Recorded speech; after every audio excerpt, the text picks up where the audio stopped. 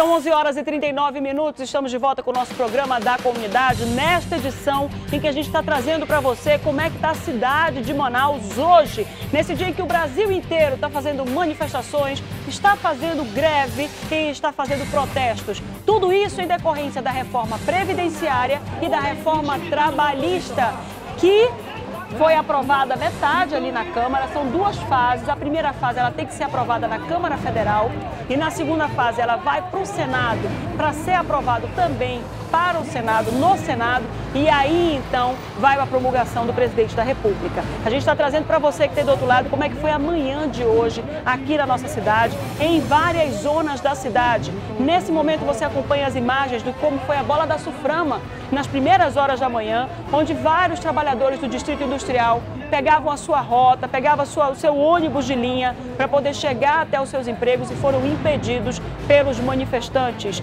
Muitos deles conversaram com os motoristas para que paralisassem a atividade, para que não levassem esses trabalhadores até os seus trabalhos, até as suas empresas, mas alguns motoristas insistiram em continuar com o trabalho normalmente. A permissão do Tribunal Regional do Trabalho era que 70% da frota de ônibus circulasse na capital. Algumas empresas, alguns rodoviários, empregados de algumas empresas, circularam apenas 30% e outras, como por exemplo a Açaí, paralisou completamente 100% da frota dentro dos nossos, dentro das garagens de ônibus. É outras informações que a gente vai trazer ainda hoje, nessa edição do nosso programa. Vamos trazer informações da Praça da Polícia, no centro da cidade, da Eduardo Ribeiro, também no centro da cidade, e a confusão que aconteceu no T1, lá no Terminal 1, na Constantino Neri, com o Bruno Fonseca. Fica ligado que a gente vai trazer essas informações para você ainda nessa edição.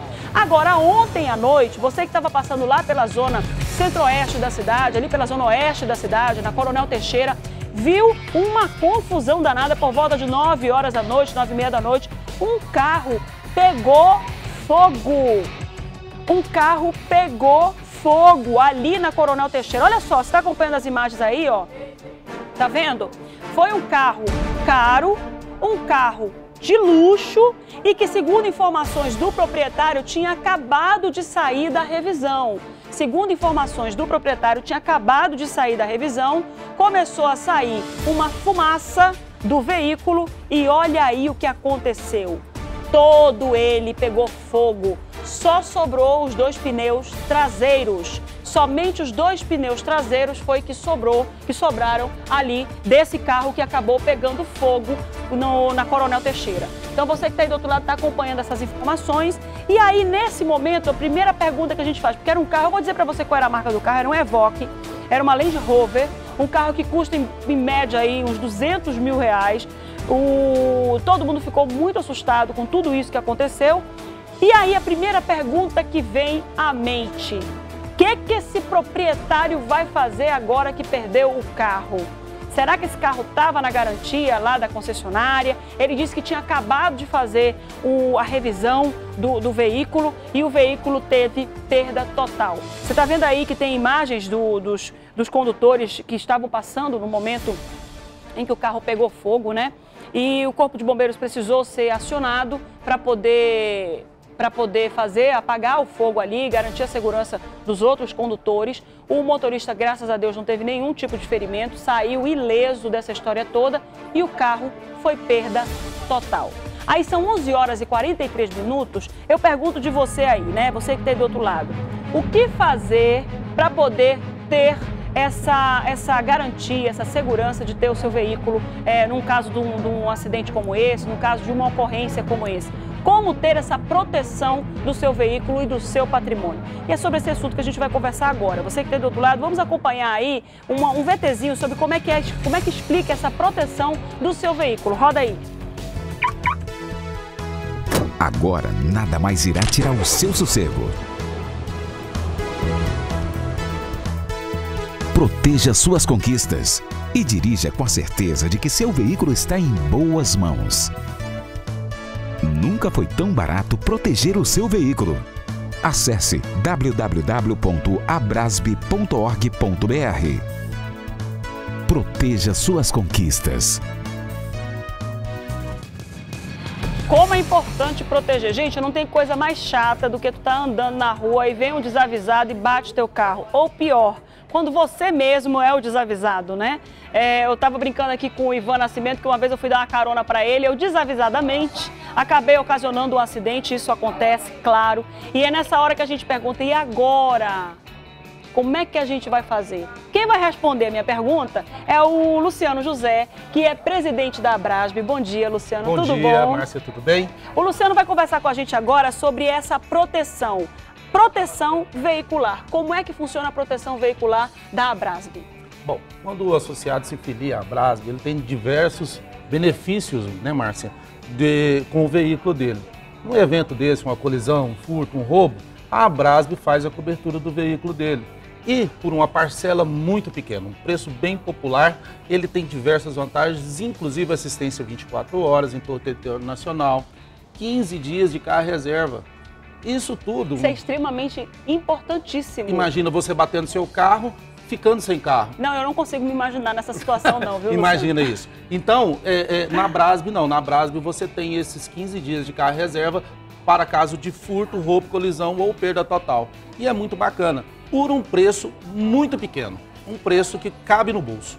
Agora, a gente estava conversando, é, Luciano, e foi dito aqui que parece que você não precisa fazer consulta no SPC, a Brasb não faz consulta no SPC, a Brasb não tem, não tem, não precisa fazer renovação anual. Como é que funciona isso aí? A vantagem de tudo, dentre todas essas vantagens, a maior é essa. Nós não fazemos consulta SPC, Serasa, nós, é, nós não temos renovação anual. Ele paga a parcela anual, a parcela mensal dele e vai e vai e tem o seu benefício, pagando mensalmente com essa facilidade. Agora, olha só, uma das coisas que a gente também noticia muito aqui no nosso programa é a questão de furto de veículos, né? Às vezes a pessoa está parada na frente da casa, coisa que a gente disse que já não pode fazer. Por favor, não fique em casa, parada ali, esperando ninguém para entrar. Liga para a pessoa e fala, pula dentro do carro rápido que eu não posso parar mais nenhuma rua. Então a gente noticia muito aqui no nosso programa a questão de roubo de carros, furto de carros. Também cobre a proteção veicular, hipóteses de furto, de roubo, tudo isso. Furto, roubo, colisão ou perda total. E, e Márcia, é, de uma forma assim muito simples. Nós somos uma associação com mais de 5 mil associados. De uma forma muito simples e muito rápida, sem burocracia nenhuma, tá? Agora, deixa eu te perguntar uma coisa. Informações, como é que a pessoa obtém informações da Abrasb? Através do site www.abrasb.org.br ou pela, pela regional aqui de, do, de Manaus, que é 3090 1022. Ele está confuso assim porque já tem, tem várias é, sedes, né? Regionais. Da, regionais da Abrasb. Isso. É, tem em Goiás, não é isso? Nós temos Goiás, Belo Horizonte e agora estamos vindo para Manaus. Está vindo para Manaus. E olha só, a Abrasb funciona já tem 14 anos. São 14 anos que as pessoas se associam, os interessados se associam para poder proteger o veículo, para poder proteger o seu carro. Telefone para contato da Abrasb aqui em Manaus. 3090 1022. 3090 1022. O site para você obter informações é o www.abrasb.org.br. E tem também o e-mail, que é o atendimento da Abrasb, atendimento@abrasb.org.br. A gente pode solicitar informações por esse e-mail? Pode solicitar informações por e-mail, através do site, tem uma simulação lá no site, onde a pessoa pode entrar, fazer uma simulação e entender tudo que, que a Brasb fornece para os seus associados. Então, repetindo de novo o e-mail, atendimento@abrasb.org.br e o contato é o 3090 1022. Tem guincho também, não tem? Tem guincho e é até mil quilômetros. Como é que funciona essa história do guincho até mil quilômetros? É, quando o associado tem algum, uma colisão, tem uma, uma um acidente, um, uma pane no veículo dela, ela pega esse, ela, ela liga no 0800 de qualquer parte do país, ela vai ser atendida pelo, pelo assistência da Abrasb. Então, assim, ela tem até mil quilômetros para trazer o veículo dela para onde é a residência dela. Agora, olha só, é, só deixa eu corrigir aqui, que o diretor estava atentando aqui, e nem o Luciano me corrigiu. Pode me corrigir, Luciano, se eu der alguma informação errada, tá? É atendimento AM, atendimento AM, arroba .org.br está na tela. Quando eu disser alguma coisa que está em discordância com o que está na tela, vai pela tela, porque o diretor está lá dentro, tem um monte de cabeça lá dentro ali pensando ao mesmo tempo vai corrigir a nossa tela, tá? Então tá aí, olha, atendimento am@brasb.org.br, contato 3090 1022. É, é uma inovação que a gente está recebendo agora, uma nova proposta de proteção veicular, nova pra gente, porque a Brasb já tem 14 anos tem 14 aí anos na, no, no país, né? Isso. E aí tá, traz para você toda aquela segurança, toda a garantia que você tem de andar com seu veículo despreocupado. Então, na hora que roubarem, na hora que assaltarem o carro, não reaja, antes de mais nada, sempre não reaja, não reaja, porque você já sabe que tem a proteção veicular da Brasb e que a Brasb vai dar outro veículo dentro da sua proteção. Obrigada, viu, Luciano? Estou à disposição. Pode fazer convite ali, viu, para o pessoal ligar pessoal de Manaus. Estamos à disposição de vocês para dar todas as informações para que você se associe à Brasb. Não fique com seu veículo desprotegido. Obrigada, viu, Luciano? Nada. Telefone para contato de novo, 3090 1022. Fica ligado aí e entre em contato com a Brasb. Muito obrigada, Luciano. Um bom dia. Você que está do outro lado acompanhando o programa da comunidade, a gente amanheceu hoje falando sobre as diversas manifestações que aconteceram na cidade. É, a gente já trouxe as informações do Juscelio Paiva, que acompanhou a Redenção, a garagem lá da Redenção, onde 70% da frota ficou dentro da, da garagem.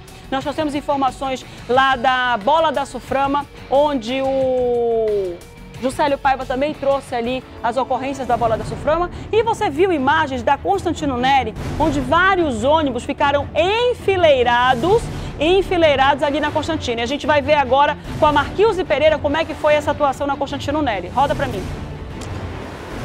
Pois é, foi isso mesmo. A prefeitura liberou as faixas azuis em toda a cidade para facilitar o tráfego de veículos.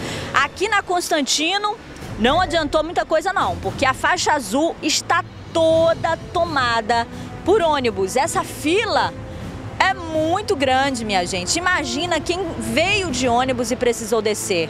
É uma fila quilométrica de ônibus do transporte coletivo e alguns passageiros vêm caminhando. Olha, os, os carros aqui tentando seguir em direção ao centro, não está fácil, precisa ter muita paciência.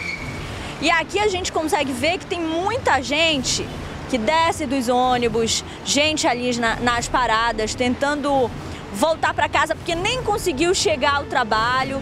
O caos nessa manhã de sexta-feira para quem vem para o centro da capital. Essa imagem é uma imagem que resume bem amanhã. Essa que você está vendo aí de cima. Uma fila de ônibus na faixa azul e os carros todos do lado. Aqui a liberação da faixa azul não adiantou muita coisa não, viu? Eu volto com você. E essa informação que a Marquinhos Pereira está trazendo para a gente foi logo cedo. A gente vai ao vivo agora com o Bruno Fonseca, que está exatamente na Constantino Neri, nesse trecho em que os, os ônibus estavam paralisados, para trazer as informações agora para a gente. Bruno, como é que está a situação aí agora? Tá. Tá.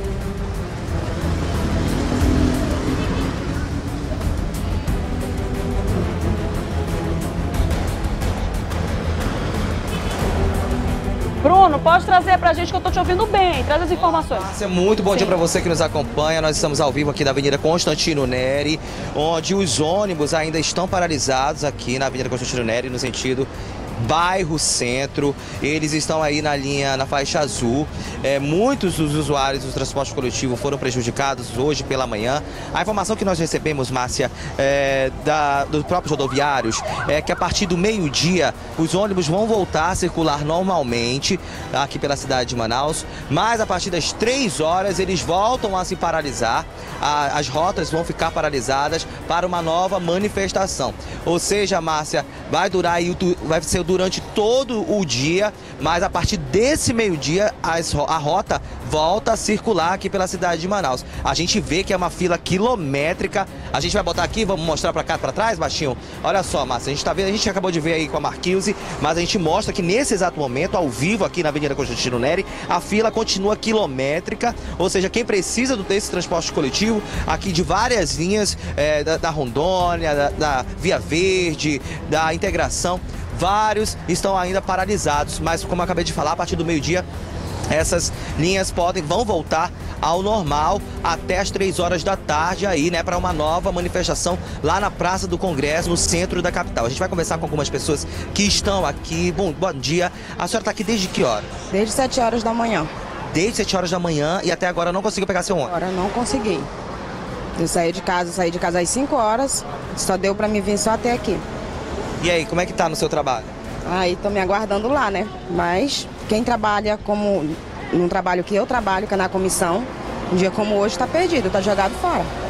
Olha só, a gente está vendo aí, ah, obrigado pela sua entrevista.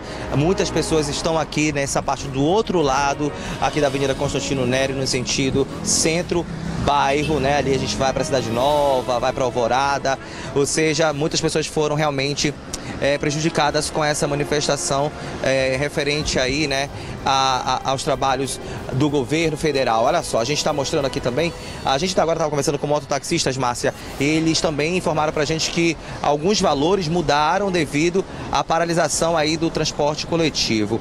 O centro da capital tá, tá também aí é, é, sendo prejudicado o comércio, mas daqui a pouco a gente vai falar sobre esse assunto. Aí, como eu, eu dei uma andada ali pelo centro da capital, a gente está vendo nesse momento que a, a, a, frota que ainda está rodando pela cidade está aí fazendo o, o, o transporte normalmente. No caso, 70%, né? Mas 30% ainda estão paralisados. Mas essa não é, não é mais uma informação exata porque a gente vê que muita gente ainda está esperando o ônibus, viu, Márcia?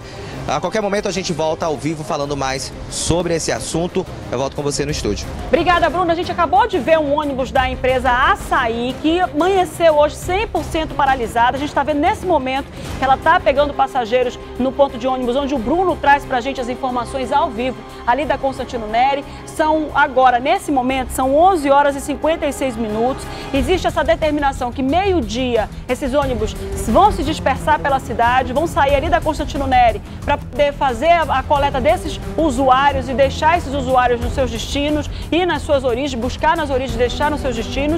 Mas às três horas da tarde já fiquem avisados aí os usuários do transporte público, três horas da tarde, haverá uma nova paralisação do transporte coletivo. A gente sabe que logo cedo o Juscelio trouxe para a gente é, lá da Aviação São Pedro, onde 70% da frota ficou na garagem, 30% acabou saindo, circulando, só 30%. E a gente vê agora aos pouquinhos esses ônibus voltando a circular, só que eles só vão circular até as 3 horas da tarde. Daqui a pouquinho a gente vai trazer informações sobre o centro da capital. Como é que ficou hoje o comércio da cidade com essa com essa paralisação toda, com todos esses protestos? A gente já sabe que a Praça da, da Polícia foi uma área com muita manifestação, com muita manifestação. Muito comércio, muitas, muitas empresas ficaram fechadas nesse dia de hoje. Você está acompanhando imagens de comércios na Eduardo Ribeiro, um local onde também teve muita manifestação e o Bruno foi lá cedo para poder trazer para a gente as imagens e as informações. E é assim que está hoje a cidade. A cidade está em estado de alerta, a cidade está em estado de cuidado. Olha, bancos também fecharam suas portas, justamente com medo de alguns manifestantes que são mal intencionados, sim. Tem manifestante que é bem intencionado, que está procurando melhorar a situação, mas olha aí, muitos bancos, aí a gente acompanha o Banco, Banco Bradesco, nós temos imagens do Banco Itaú, paralisados nesse dia de hoje, fecharam as portas por, justamente por causa dessa greve. São 11 horas e 58 minutos. Fique ligado que a gente vai trazer outras informações para você nessa edição do nosso programa. Toda ela vai ser voltada a atualizar você sobre o que está acontecendo na cidade. Você que tem doutorado preocupado em sair, ou que teve que sair porque tinha que levar o. tinha que ir para o trabalho e está em casa e de repente está esperando acalmar um pouco as coisas para poder sair de casa.